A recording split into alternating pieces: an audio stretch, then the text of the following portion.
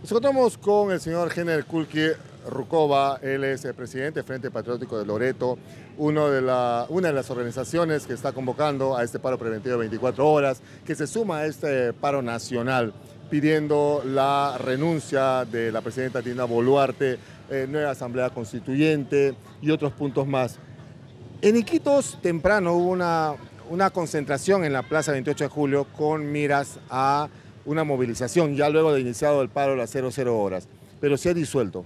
Efectivamente, es que se había pensado hacer dos movilizaciones, una en horas de la mañana y otra en horas de la tarde, pero las condiciones climáticas no nos han permitido hacer la movilización de la mañana, ¿no? que, más o menos lo habíamos pensado así, toda vez de que tenemos compañeros que básicamente son el grueso de los militantes de, de, de construcción civil, que han estado activos desde anoche, ¿no? estos compañeros no han dormido, y era necesario no solamente ver que les podría afectar el clima, sino prevenir que pudieran enfermarse. Es por esa razón que se decidió suspender con el compañero Rafael Chumbe la movilización de la mañana para concentrarnos en la movilización de la tarde. Eh, ¿A partir de qué horas? A partir de las 3 de la tarde en la histórica Plaza 28, donde van a participar no solamente los sindicatos que están participando de manera activa en esta convocatoria, sino también la población en general. ¿no? Ya, ya se han comunicado dirigentes populares para decir que van a participar en esta movilización que creemos va a ser bastante contundente.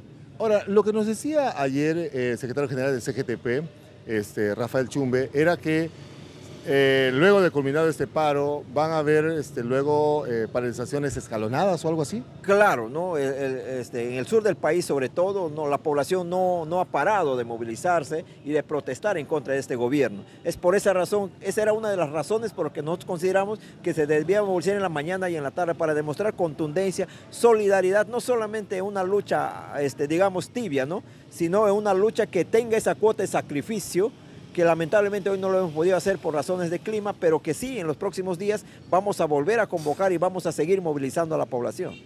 Eh, ya eh, indica usted que ha recibido comunicación de dirigentes de, de, los barrios, eh, por ejemplo. Está, está, captando este mensaje porque conversábamos con este, Rafael y también nos decía, por ejemplo, en esta época que estamos globalizados, hay gente que aparentemente no tiene esa información. ¿Ustedes sienten que la población quiere solidarizarse con, con, las personas que se han muerto? Porque yo repito, no es que no nos interese, pero ¿tienen esas ganas de querer solidarizarse? Yo creo que sí, ¿no? Ayer en horas de la mañana hemos recibido este, visitas de organizaciones que hasta no sabíamos que existían, por ejemplo, el Frente Amplio de Defensa de los Intereses del Distrito de Punchana, el FADIP, ¿no? Han venido los compañeros, han dicho que van a participar activamente, que van a estar en las movilizaciones. También existe el Fredecol, este, la carretera Iquitos Naute, en todo el eje carretero. Ellos están llevando adelante también esta paralización en su zona. ¿No? Entonces son organizaciones que están emergiendo del anonimato, digamos, pero para asumir un rol protagónico en las movilizaciones de la población. Muchas veces cuando se piensa en paros y en movilizaciones se piensa o Frente Patriótico, o CGTP, o Sindicato de Choferes, o Sector Transporte, Sector Salud. Ahora hay otras organizaciones que agrupan a sectores vecinales que creo que están no solamente en la capacidad, sino en la obligación de fortalecer esta lucha que se está dando en contra de este gobierno que está masacrando al pueblo. Ahora, eso es interesante, digamos, que eh, vayan eh, surgiendo, que vayan siendo visibles otros sindicatos, que también, eh, porque no se trata de, digamos, de figuretismo, ¿no? Que no está conjugando uno, el otro, sino que todos y que puedan luego juntarse. Esta tarde entonces va a haber esta movilización con el recorrido tradicional. Así es, el recorrido que ya conoce el periodismo y la población, pero yo quiero resaltar lo que acabas de decir. Es importante que, existan organizaciones, pero que haya el respeto entre, entre cada uno de nosotros sin que uno u otro quiera ganar un protagonismo o una figuración que de repente todavía no está preparado. ¿no? Esa es la razón por la que nosotros somos bastante cuidadosos para hablar de unidad, ¿no? con organizaciones y con representantes que hasta el momento han demostrado no solamente solidaridad, sino respeto entre organizaciones que han existido siempre. ¿no? Por eso yo resalto, por ejemplo, la actitud del compañero Rafael Chumbe, que no solamente este, ha aceptado hacer esta convocatoria de manera conjunta, sino que ha estado con nosotros todas las horas desde que hemos empezado esta paralización, acá en la Casa del Maestro, caminando juntos, este, fortaleciéndonos mutuamente y demostrando a la población que hay un movimiento popular que se está reactivando en Iquitos. En estas primeras horas de este, de este paro, este, han estado, han habido piquetes eh, tradicionales, porque normalmente, por ejemplo, la anterior recuerdo, por San Juan era la zona más crítica.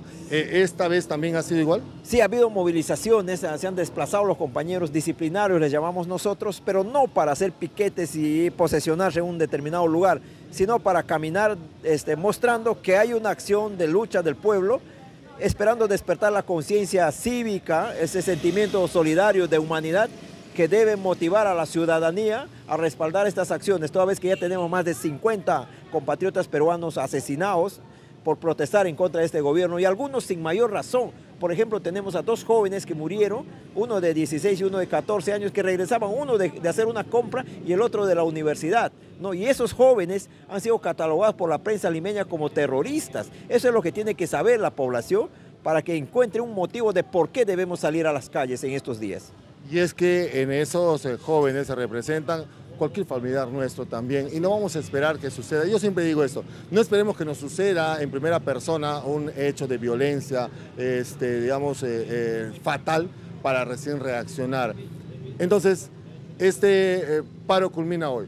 Ojalá digamos, las 24 horas que está programado. Ojalá haya el efecto que se quiere, ojalá eh, la clase política se mueva realmente para ver de qué manera calmamos un poco esta crisis que está viviendo el país. Así es eso. La, salida, esta es una crisis política, la salida la alternativa tiene que ser política. La señora Dina Boluarte tiene que entender que el gobierno le está, o sea, los que gobiernan detrás de ellos, ¿no? Le están utilizando nada más para proteger intereses.